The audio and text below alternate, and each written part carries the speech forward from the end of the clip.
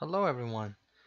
Today's tutorial is all about how you can create a background service that can communicate with your application's activity in real time. There are many ways to create a background service and today I'm going to explain the job intent service class that is introduced in Android SDK version 26. This is a very useful class because it can uh, run on devices running Android O or later or devices running pre-Android O. So, to start, we would need three main components. A main activity, which is the UI, main UI we are running, and the service class, and our communication tool between the two, which will be a broadcast receiver. So let's start by creating these three main components. So first I'm going to create a new class, call it simple job intent service and the superclass job intent service. Click OK and implement the methods over here. Here it's warning you that's not registered in manifest, so you need to go to your manifest and register this class. Just type service, and you need the permission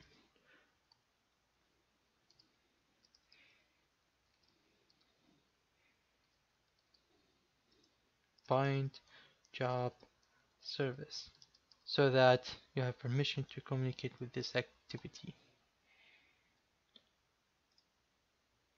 Alright, let's go back here. So we have the service class, main activity. Alright, so here the main activity I have a very simple UI, just a text view, a progress bar, and a button that I intend to start any job from. Um, let's create on click listener to that button to start job. Okay, now I'm going to create this over here.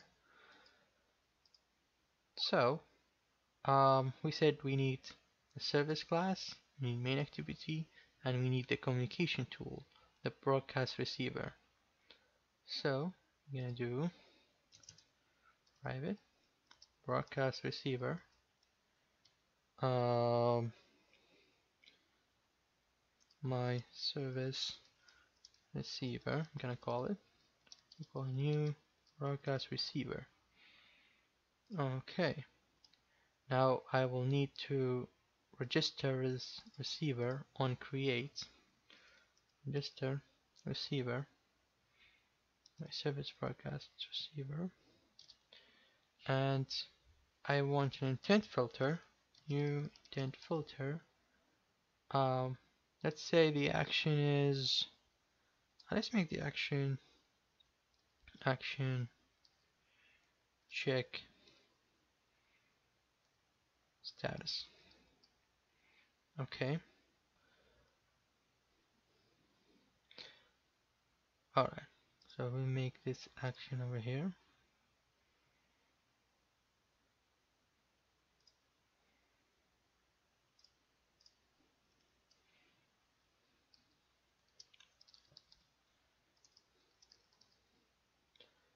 we will make this public. Okay. And so here our receiver will receive the status update from the service. And we also need to uh, implement on resume. Override on resume to register the receiver as well and override on pause to unregister the receiver. Always surrounded by try and catch. Unregister receiver.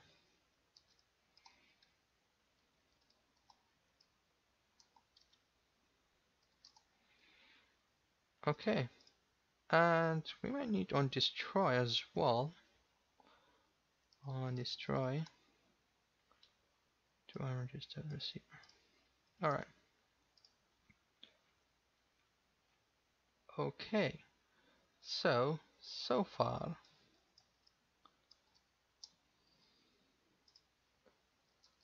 we have this function here to um, initiate the job.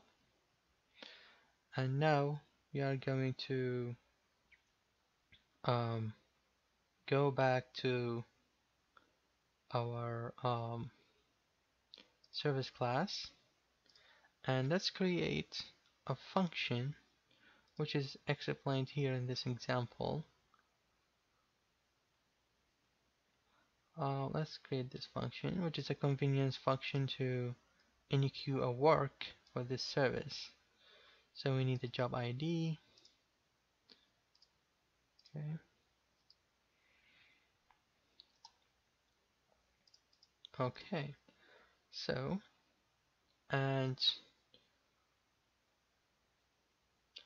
um, over here we need so um, the on handle work function is the function where all um, the job will be executed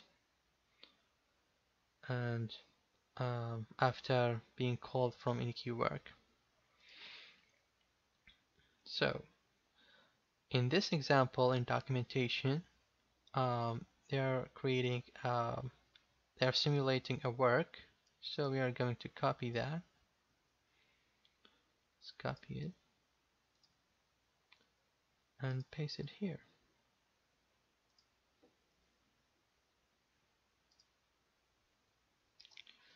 Actually, we don't need that for our example. And let's um let's implement this. These are just um, the on destroy methods so we know the work is being completed. And here we have a handler so that we can make toast. Okay. So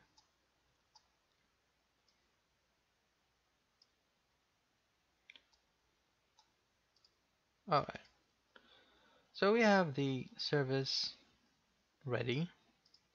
Now we need to tell it what to do. So we go back to our main activity and over here let's call this class simple oh, what okay simple Java service dot work and we pass in the context and we pass in the intent to tell the service what it needs to do so we do new intent and um, let's set the that set action let's do the action um, do stuff. So we're gonna create this action over here. Uh, new public action do stuff. Okay. So we sent the work to our service over here. So the work will be sent over here, the intent and we will receive it here on handle work. Now let's say we got the um, work to do. So what we do is if intent that get um, action doesn't equal to null okay we're gonna do switch um, intent get action and the case first case is the action um, do stuff. Oh action do stuff. Wait. Um yeah. Do stuff. So here already telling me to import that from an activity Great. Okay, in action do stuff, we're gonna do our stuff. Let's say we have like a hundred stuff to do. Okay, so we're gonna do the stuff to do over here. We're gonna sleep just um like 50 milliseconds. Like 50 milliseconds. Alright. And okay, so we have 100 stuff to do. Each stuff takes 50 milliseconds. Let's say. So after the stuff is done, uh, we need to send the update back to the main activity through the broadcast receiver. So let's create a bundle, bundle, new bundle, do bundle dot. Let's put int. The key is the status, any key, and the data is let's put our current um, um, index of the process. Let's put i. Okay, and then let's send broadcast. Uh, we do new intent. New put. Uh, put extras. Um, let's do the intent. Let's set the action of the intent. Um, let's do set action. Action. Check status. Dot put extras. And we're gonna put bundle? The data. Okay. So we have this ready. We go back to our main activity and we will receive the result over here on receive. So on receive we're going to update our uh, text view and progress bar. Let's do text view set text. Uh, let's make sure the intent is not null. If intent dot get extras doesn't equal to null then we do let's do um int status equal intent get extras dot get integer and the key we set status. And let's set the default value like 0 and now text view dot set text string dot value of status. And let's do like concatenated with like percent. Let's do it here I'm to do progress bar dot set progress status um, animated. Okay, now our app should be ready. We run the app.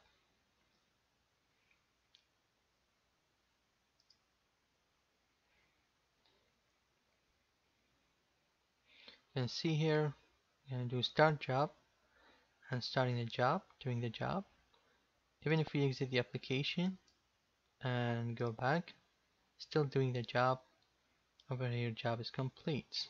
And you can start another job after that. So exit go back to application and still doing the job. So that was our tutorial today. If you like this video please comment and subscribe um, for more tutorials. I'm going to put this link into the description you have any questions, please let me know.